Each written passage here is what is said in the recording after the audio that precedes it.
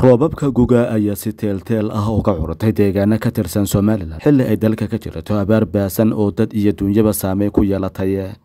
Wararka ka imanaya magaalada ceergaabo ee xarunta gobolka sanaga ayaa sheegaya in halkaasi casarkii dheera ee galabta uu roob lagu qabowsaday ka da'ay kaas oo dib u soo nooleeyay rajadii shacabka ku dhaqan halkaasi ceergaabo oo magaalo madax u ah gobolka ugu ballaadhan ee somalilan ee sanaga ayaa waxaa sida deegaanada kale ka jiratay abaar dad iyo duunyaba saamaysay. Isla gobolkaasi ayaa waxaa hore ay uga da'een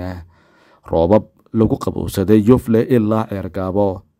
iyadoo galabtana uu roobku ka da'ay deegaano kale oo hoos yimaada gobolka sanaag magaalada gabiley ayaa iyana roobabka gugu hay si fiican uga curteen inkasta oo aanu xidhiidhsanayn. Haddana waxa uu roobkaasi labadii maalmood ee u dambeeyey uu ka daayay magaaladaasi iyo hareeraheeda isla gelinkii dambe ee maanta ayaa iyana waxaa roobab lagu qabowsaday ay ka da'een degmada wajaale oo ku taalla xadka ay wadaagaan somalilan iyo etoobiya magaalada gudaheeda ayaa dadku ay baraha bulshada ku faafinayeen muuqaalo iyo sawiro kolba kii ay heleelaan kaasoo ku saabsanaa dhibaca roobka ay halkaasi helay. Ee dhinaca kale degmada gooda weyn oo ka tirsan gobolka saaxile ee somalilan oo iyana ay ka jirta abaari ayaa waxaa galabta ku horay raxmaadka ilaahay roobabkan ka da'ay degmadaasi oo ahaa biyo dhig wanaagsan ayaa si la mid ah deegaamada kale ee gugu ka curtay waxa iyana farxad ay gelisay dadka deegaankaasi. Somalilan waxaa ka jirtay in dhoweyd abaar baasana oo saamaysay dad iyo duunyaba hase yeeshee. Waxaa muuqata rajada laga qabo in ilaahay maraqa uu ka furo raxmaadkiisa